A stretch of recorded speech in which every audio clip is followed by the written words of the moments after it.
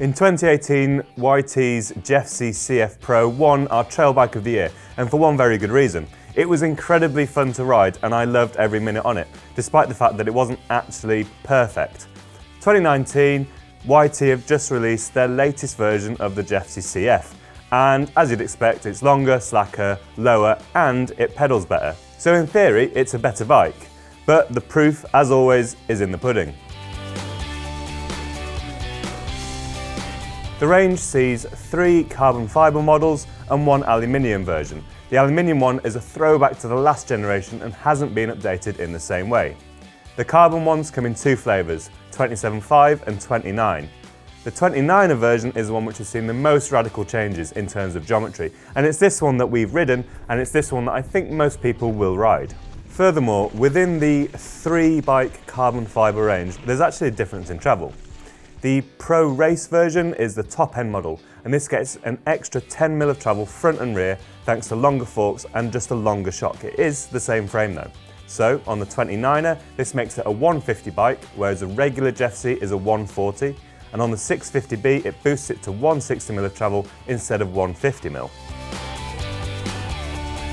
The 2018 version had a reach of 445mm in a size large, and this has now been boosted to 470mm. The seat angle has gone from 74.5 degrees up to relatively steep 77 degrees, and the head angle slackens by a degree from 67 degrees to 66. Finally, the seat tube on a size large shortens by 45mm to 435mm, now this means you can size up on a frame if you wish to in order to get that longer reach because the seat tube is that little bit shorter.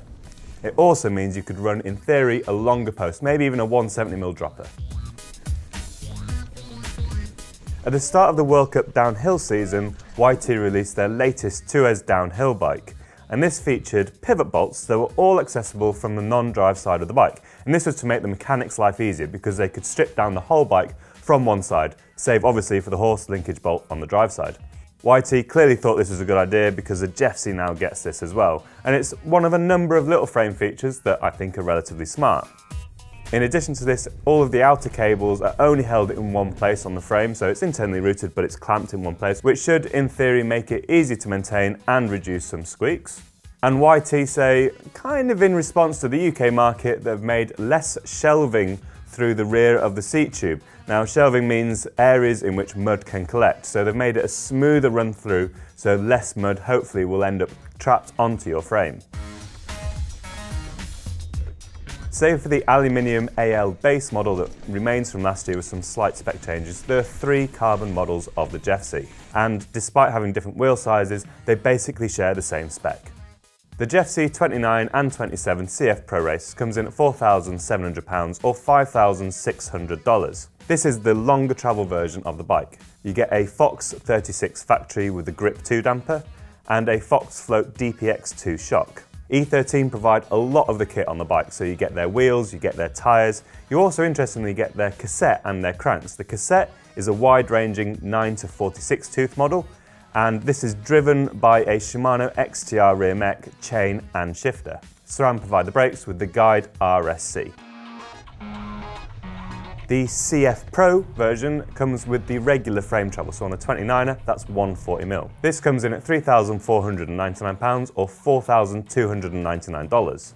This gets a RockShox Pike RCT3 fork and a RockShox Super Deluxe RT3 shock. So you're moving away from the Fox onto the RockShox. It also gets a SRAM GX Eagle drivetrain, so that's a 12-speed version. There's still plenty of E13 kit on there, including wheels and tyres, but you start to see some race face in the cockpit instead of Renthal on the pricier bike, and you get a slightly cheaper Guide RS brake. Finally, there's a CF Comp, which is the base model for the carbon frames. This comes in at £2,999 or $3,499. It's back to Fox with Performance Elite level kit. That's a 34 fork and a DPS shock.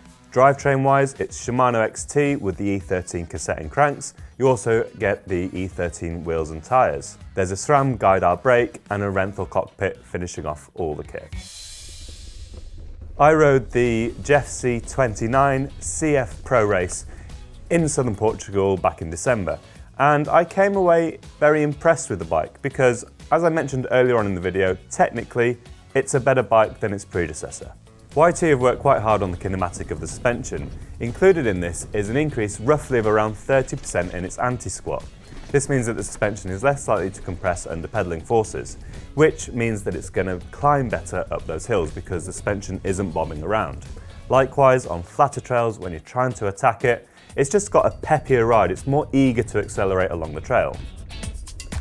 One of the criticisms that many have had with the previous generation Jeffsy was that the tyres were pretty draggy, and that hasn't changed. But with the better pedalling performance, the bike doesn't feel quite as sluggish. Those tyres work well in a reasonably wide range of conditions, but they aren't perfect everywhere. The side knobs on the TRS Plus tyre on the front is quite malleable, so on harder terrain it is prone to sort of wandering a little bit. But if the ground is soft, it can dig in and it adds loads of grip. Combine this with the longer geometry and slacker head angle and this thing really does start to rail around corners in a very confidence-inspiring way. Fox's latest Grip 2 damper is one of the best out there, we've always been impressed with it, so sticking this onto the front of the bike is no bad thing from YT. That increase in anti-squat also helps the bike when you're pushing through corners and trying to get some pop out of it, so it maintains its relatively lively feel. Get into a berm and there's a lot of confidence from that front end, but also you can really push the bike through any corners. Come to a jump and that longer bike means it's still very stable and confidence inspiring in the air. There may be a hint of kickback on some bigger square edged hits, but it's not something that I ever really found an issue with on my initial first few rides.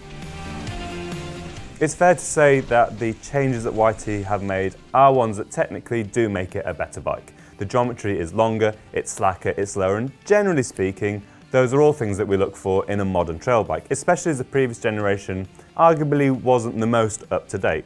However, the thing that I really loved about the previous bike was that it was so much fun to ride. It was super poppy, super fun, really agile, despite its flaws. So YT have made a better bike. Part of me though still thinks that it might have lost a little bit of its character, and I'm not sure if I prefer it or not. Fortunately, I'm in the middle of testing for Trail Bike of the Year and YT is sending us a bike, so I will be spending a fair bit of time on it before I make too many final conclusions about the bike. Initial impressions, very good. Maybe not quite as good as the previous one though. So that's the YT Jeffsy 29. Keep an eye out for our Bike of the Year review. And in the meantime, let us know what you think in the comments and don't forget to like and subscribe.